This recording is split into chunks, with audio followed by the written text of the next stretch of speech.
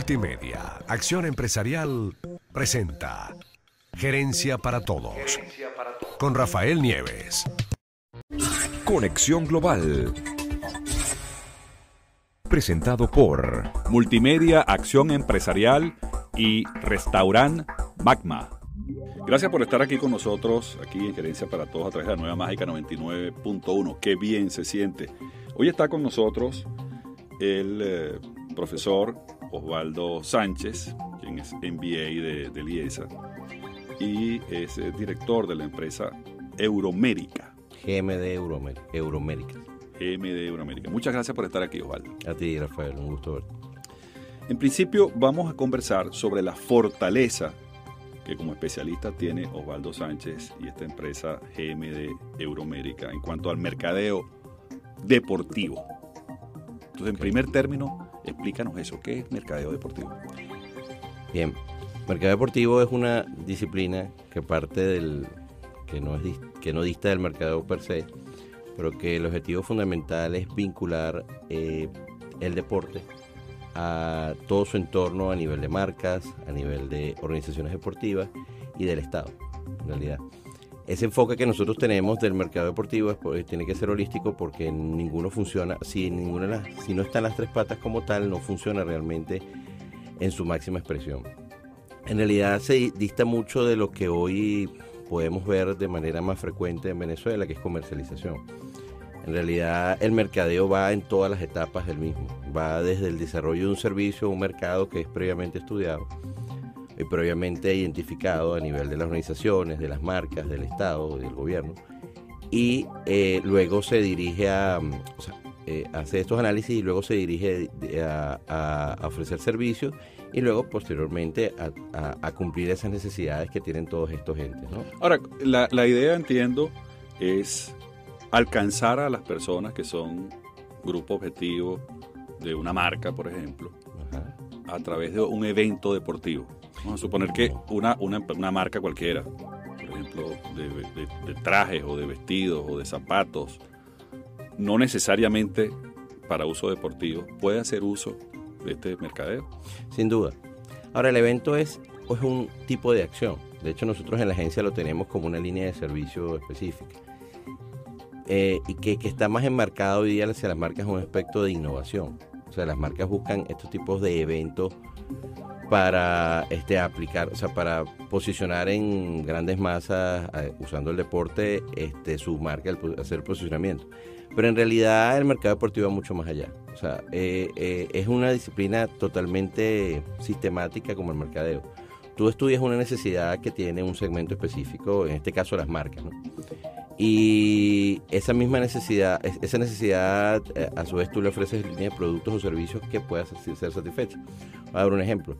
Eh, hoy día muchas empresas necesitan estratégicamente entender cómo, cómo manejar el deporte, no solo las marcas que, como por ejemplo las de ropa, Nike, Adidas o cualquiera de esas que son muy conocidas, sino marcas como la industria farmacéutica, por decir algo, la industria, la industria de telecomunicaciones, eh, en la cual necesitan... O empresas financieras, que, por ejemplo, cualquier tipo. banco, eh, eh, en las cuales necesitan una estrategia muy clara que se, obviamente que esté alineada con su, con su estrategia principal, con su plan estratégico y operativo para, para vincularse con el deporte. Sí, yo me imagino también lo siguiente, que las personas que acuden a un evento o que lo ven a través de un medio o lo oyen a través de la radio, están en una posición y una actitud diferente, una, actitud, digamos, más relajada, de mayor interés, disfrutando el deporte de su preferencia.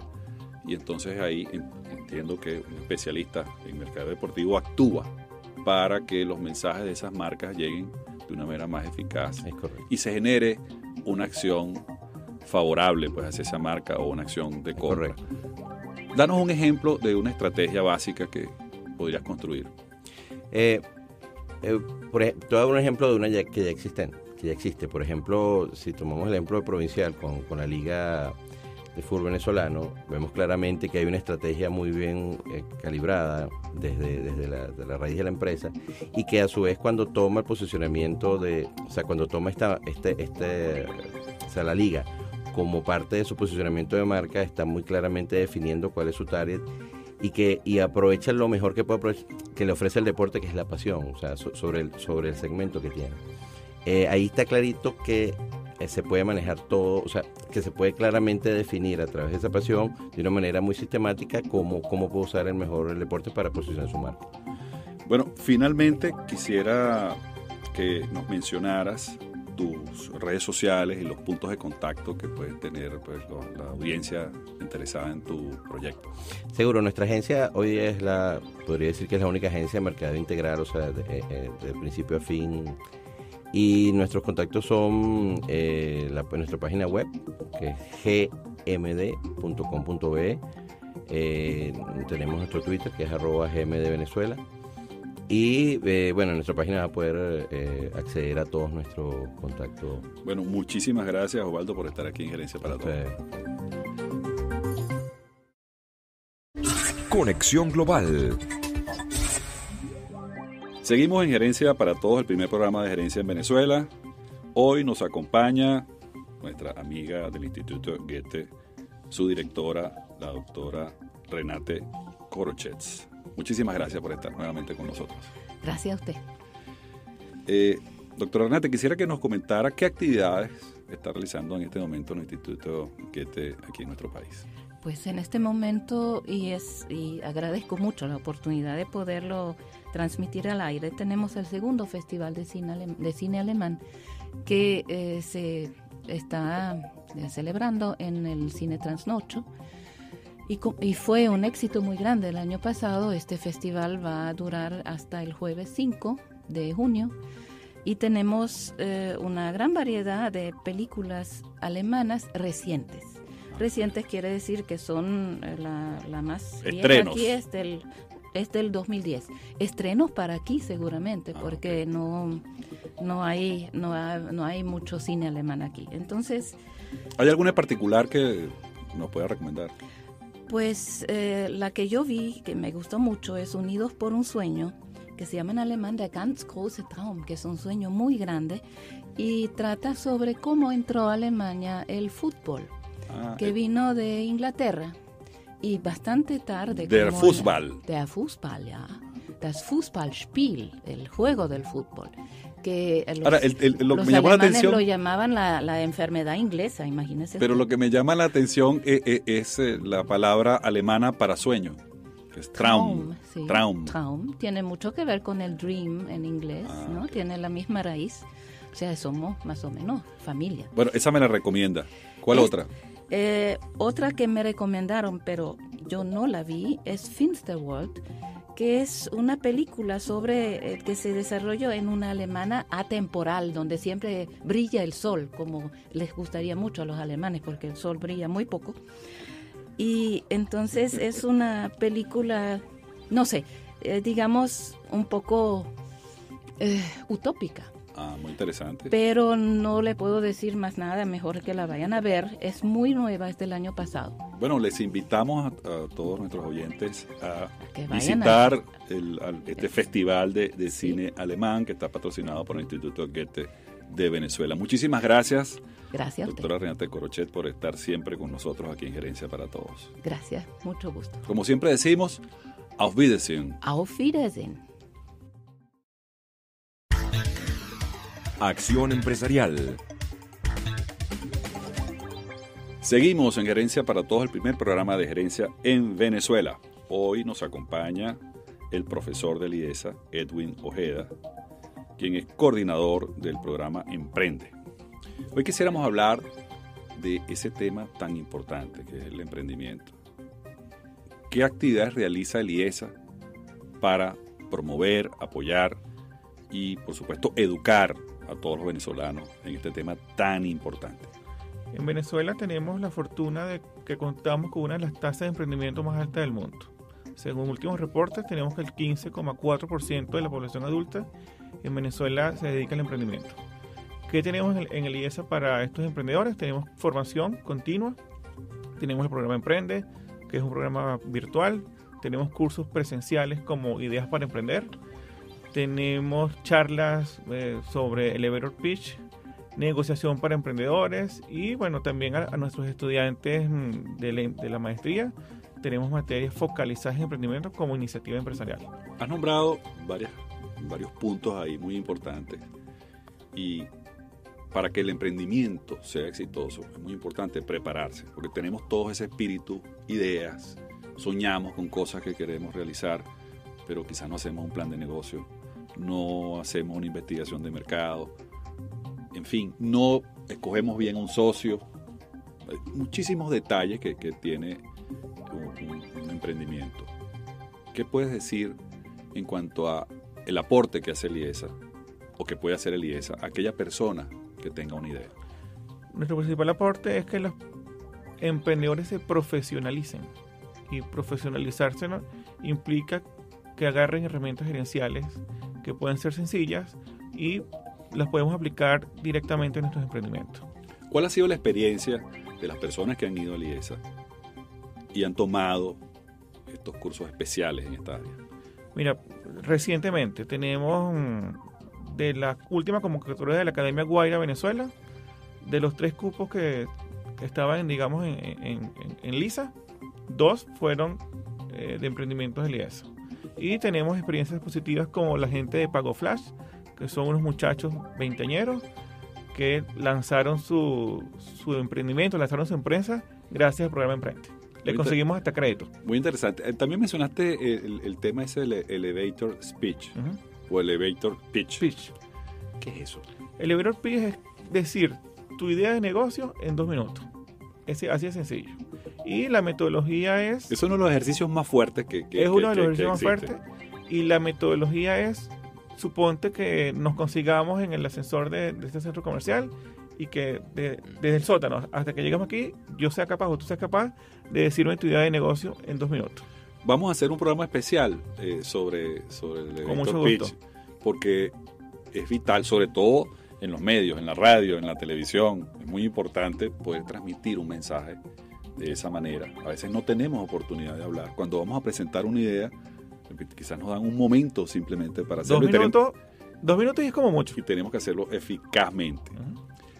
Bueno, muchísimas gracias por estar aquí en nuestro programa Gerencia para Todos. Muchas gracias, Edwin, por estar aquí. Vamos a tener eh, a Edwin Ojeda, el coordinador del programa Emprende, aquí en Gerencia para Todos, continuamente. De modo que nuestros amigos emprendedores van a tener la oportunidad de obtener esta valiosa información del IESA. Muchas gracias. Y nos pueden también seguir por el Twitter, arroba emprende. Muchísimas gracias. Continúe con nosotros aquí en Gerencia para Todos. Hoy estamos con el arquitecto José Antonio Maldonado, quien es especialista en redes sociales y todo lo que tiene que ver con el mercadeo digital. Bienvenido, José Antonio, a Gerencia para Todos. Muchas gracias, Rafael. Gusto. En principio, eh, quisiéramos conocer, eh, ustedes como especialistas en Expo Consultores, qué hacen y por qué es importante hacer mercadeo digital. Bien, Venezuela hoy en día es un país que, que está en el promedio de la penetración de Internet comparado con el resto del continente. Estamos alrededor del 45% de nuestra población usa con regularidad Internet. Eso significa unos 13 millones de personas que están utilizando Internet. Si tú comparas, el número probablemente no suena como muy grande, pero por ejemplo, el diario de circulación más amplia de Venezuela, en papel, llega apenas a 350 mil ejemplares diarios en los días domingos. Los días de semana es la mitad de eso. Básicamente hay que multiplicarlo por 60, 70 más o menos para que llegue a lo que es el alcance que tiene Internet en Venezuela. Y de esos 13 millones de personas que están conectadas a Internet en Venezuela, alrededor del 90% de ellos están conectadas por lo menos a alguna de las redes sociales. Entonces, hablar de mercadeo digital significa un alcance muy, muy grande, muy importante y además pensando en, en motivar conversaciones con la gente a través de las redes sociales cuando estamos teniendo alrededor de 11 y medio, 12 millones de personas utilizando por lo menos alguna red social, pues yo creo que más que una opción, el mercado digital es una obligación hoy en día. José Antonio, tú también eres profesor universitario, estás en el CIAP, estás en la universidad, en varias universidades de, nuestro país. Y claro, nos llegan muchas inquietudes a través de arroba gerencia a todos de nuestra- nuestros oyentes, precisamente, que son estudiantes de, de mercadeo, muchos están haciendo también MBA, etcétera. Y nos preguntan el hecho siguiente: la, el mercadeo tradicional utiliza diversos tipos de vehículos o medios para llegar hasta las personas y colocar sus productos. En la metodología que emplea Expo Consultores, y tú como profesor universitario, ¿cómo consideras que el mercadeo digital utiliza las cuatro P clásicas del mercadeo, producto, plaza, promoción y, precio.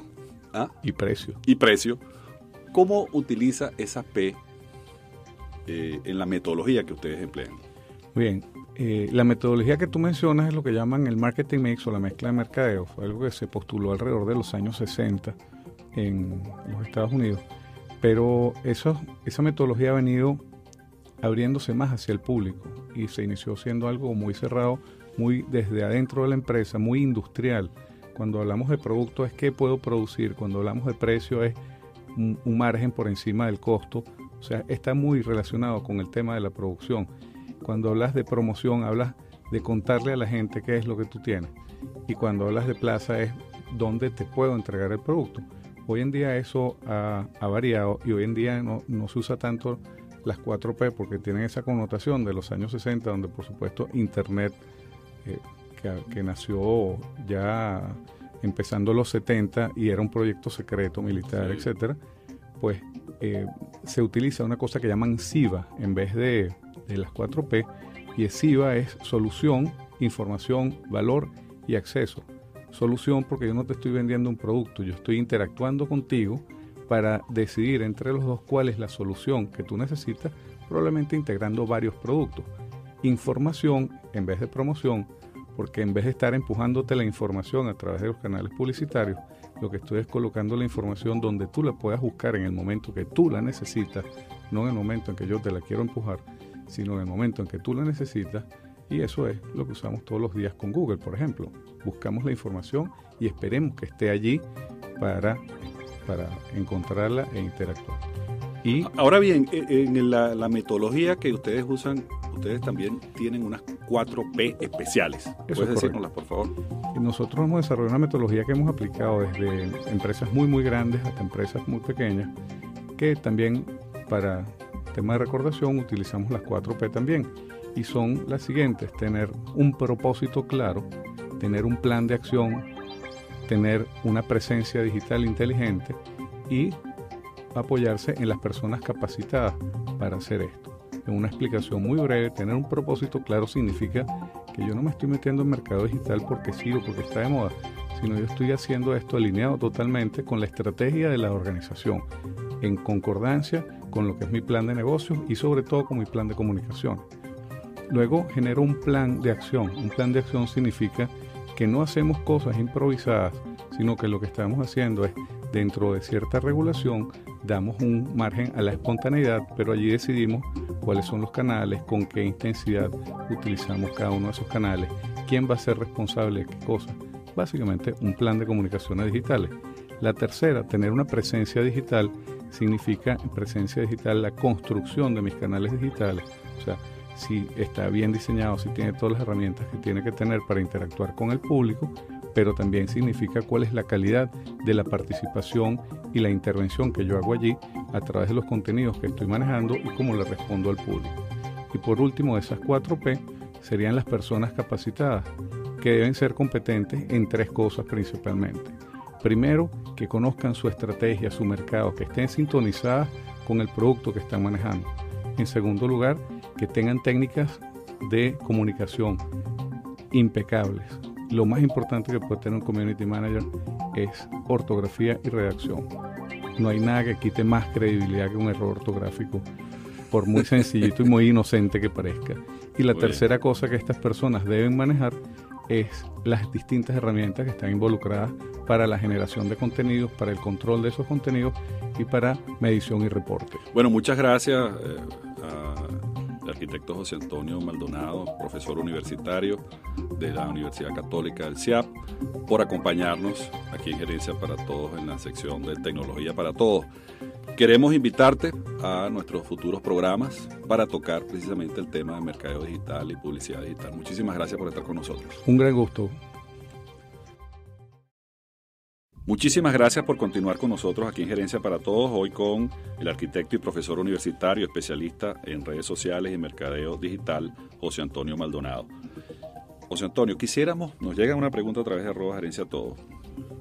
Resumimos un poco las, las inquietudes y eh, resulta interesante conocer cómo podemos combinar, digamos, esa facultad que tiene, eh, tienen los medios digitales, sobre todo de medición, de especialización, de segmentación, combinada con otros medios en el caso de una campaña. Me imagino un anunciante, una marca, un emprendedor que dice, quiero alcanzar un mercado objetivo. Ustedes en Expo Consultores, ¿cómo pueden combinar medios tradicionales con estos medios digitales para alcanzar el objetivo de transmitir ese mensaje y ocasionar que ese grupo objetivo haga la acción de adquirir ese producto? Muy buena pregunta, Rafael. Fíjate, yo creo que lo que ha sucedido en el mercadeo es que ha cambiado un balance que ya existía de una manera distinta. Antes teníamos más medios, nos apoyamos más en los medios que le empujaban la información al usuario o al potencial cliente y ahora está surgiendo con más fuerza donde ese usuario en vez de, de ser la víctima de la publicidad es partícipe. Entonces es una, una publicidad donde ya no es tan, eh, digamos, pasivo el papel de, del cliente potencial, sino es mucho más activo. Y ahí viene a funcionar algo que conversamos en algunos de los programas anteriores, donde hablamos de la publicidad interactiva, la publicidad que está, en el caso, por ejemplo, la publicidad que, que está en los motores de búsqueda, que está, digamos, eh, activada por el propio deseo del, del, usuario que quiere saber más de algo y busca en el, en el buscador y en el buscador le da resultados, lo que llamamos naturales orgánicos y resultados patrocinados o publicidad. Entonces, como te digo, cambia un poco el balance, tenemos el surgimiento de esto que lo hace, que lo hace bien interesante, pero yo creo que las campañas más inteligentes son las que utilizan una combinación de ambas cosas. En esa combinación de ambas cosas, lo que uno debe enfocarse es para qué me sirve cada uno de los medios. Si uno piensa, por ejemplo, en este momento estamos en radio. Radio me sirve para generar acciones inmediatas. Probablemente no tanto, pero me sirve para hacer una recordación porque ¿dónde escuchamos radio?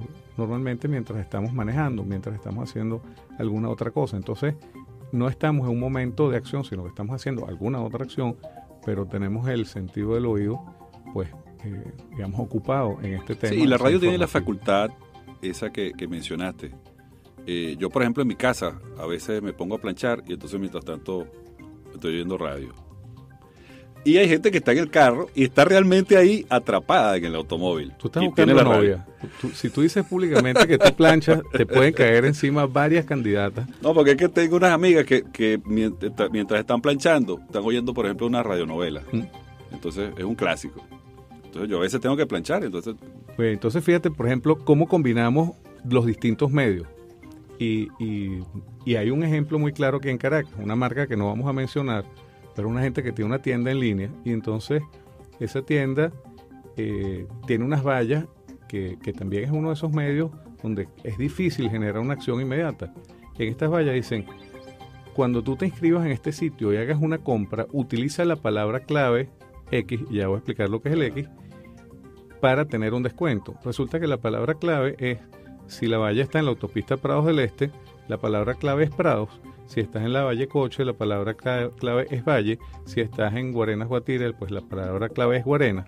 No, y, y claro, una permite, combinación. Excelente. Eso te permite saber cuando la gente interactúa digitalmente ¿Dónde? de dónde vino la recomendación, de dónde vino esa palabra. Y mides la efectividad también de y esa puedes valla. medir la efectividad de esa valla. Igual que en radio, también radio. Esa, esa, combinación de la interacción con el público pues, que, que ocasiona la radio.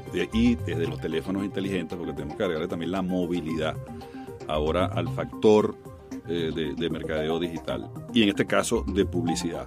Bueno, José Antonio, muchísimas gracias por estas recomendaciones. Siempre nos quedamos cortos, pero quiero recordarles que pueden visitarnos a través de arroba gerencia todo y conocer las recomendaciones que eh, este especialista, José Antonio Maldonado, tiene. Por favor, dinos, José Antonio, dónde pueden contactarte también. Podemos darles nuestro, nuestra cuenta en Twitter, es arroba expo consultores, como si fuera exposición y como consultores en plural, expo consultores, y por supuesto en www.expoconsultores.com donde estamos totalmente dispuestos y disponibles. En Facebook también estamos y estamos en LinkedIn, donde por todos los canales Está en todas las redes sociales, por supuesto, obviamente. utilizando. Bueno, muchísimas gracias a Expo Consultores por estar aquí en Gerencia para Todos. Muchas gracias a ustedes. Hasta luego. Conexión Global. Nuestro programa tiene un especial interés en el tema educativo y también en el tema de las vinculaciones internacionales que en nuestro país se desarrollan. Por eso hoy estamos recibiendo a el doctor Stefan Fresche, quien es eh, el eh, director de Campus France, que es un servicio de la Embajada de Francia en nuestro país. Bienvenido, Stefan, a Gerencia para Todos. Muchas gracias, buenas tardes. Vamos a conversar sobre la misión que realiza Campus France aquí en nuestro país. Bueno, Campus France aquí en Venezuela es representante de Campus France, que es una institución uh, nacional francesa que tiene una doble tutela. Tutela del Ministerio de Relaciones Exteriores francés y, y tutela del Ministerio de Educación y de la Investigación. Sí, claro, por ser uh, tutela del Ministerio de Relaciones Exteriores, lo representa fuera de Francia, la Embajada de Francia. Y su misión es toda la parte académica, la parte de, de, investigación, la parte de enseñanza, porque es su fin, fue creado con la tutela del Ministerio de, Educación Superior y la Enseñanza. Eh, voy a colocarme en varias situaciones para que nuestra audiencia pueda hacer el máximo provecho de los servicios de Campus France. Vamos a colocarnos en la primera situación. Un, una persona profesional, un graduado universitario, que comienza a trabajar y decide, por ejemplo, explorar la posibilidad de hacer un posgrado en Francia. Campus France interviene en este tipo de casos. Por supuesto, eso, eso hace parte de nuestras misiones. Primero hay que saber que es mucho más sencillo, mucho más fácil aplicar a un estudio en Francia, sea cual sea el nivel, o sea, licenciatura, posgrado, doctorado, es mucho más sencillo de lo que uno se imagina. Primero, los estudios cursados en Venezuela están totalmente reconocidos, desde el bachillerato hasta el doctorado. Así que uno no pierde tiempo, tiene un bachillerato local, puede cursar en Francia un pregrado o una licenciatura. Tiene una licenciatura local, es aceptado directamente a nivel de máster. Si tiene una maestría local, puede cursar directamente un doctorado. Y si tiene doctorado, puede cursar un postdoctorado. No hay ningún problema. Realmente hay un flujo de, de, uh, de, conocimiento y hay un reconocimiento total de la formación académica cursada en Venezuela, de manera que el estudiante no pierda tiempo y uh, pueda conseguir estudios. Doctor Fecha, menciónanos cuál es el nivel que debe tener de francés. Entiendo que, eh, de acuerdo a los convenios y Uh, las normas de la Unión Europea hay unos niveles, hay una graduación de niveles eh, de suficiencia, en este caso el idioma francés. Está muy bien informado. hay un nivel que se llama B2, que es un nivel que está reconocido a nivel europeo y que permite, a través de ese nombre un poquito uh, complicado, B2, que permite al estudiante aplicar a una universidad, una formación universitaria.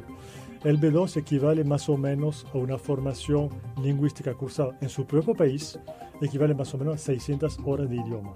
Eso podría hacerlo en Venezuela, por ejemplo, tomando un curso en la Alianza Francesa, por ejemplo. Por supuesto, puede cursar en la Alianza, lo puede cursar en la universidad, lo puede cursar en cualquier instituto privado o público que haya en Venezuela. Las universidades muchas veces tienen esa facilidad. Pero si quiere presentar las, uh, los diplomas, tiene que presentarlo ante la Alianza Francesa, que es, digamos, el enlace con el Estado. ¿Y quien certifica que esa persona tiene ese nivel B2 que le permite son, di son diplomas del Estado francés. Bueno, Estefan, muchísimas gracias por estar aquí en Gerencia para Todos y vamos a invitarte de nuevo porque hay muchísimos detalles que nos, nos piden a través de, de nuestro Twitter. Hay muchísimas, muchas cosas de que hablar. Bueno, muchísimas gracias. Ustedes, amigos, gracias, muchísimas gracias por estar aquí con nosotros en Gerencia para Todos. Gerencia para Todos finaliza su emisión de hoy invitándoles a seguirnos en arroba gerencia todos, formando equipo productivo en la nueva mágica 99.1 con la dirección general de Enzo Casela En el control técnico, Luis Salazar. En la coordinación de producción, Dailins García y Daniela Everón. Les deseamos un productivo día. Multimedia, Acción Empresarial, presentó Gerencia para Todos con Rafael Nieves.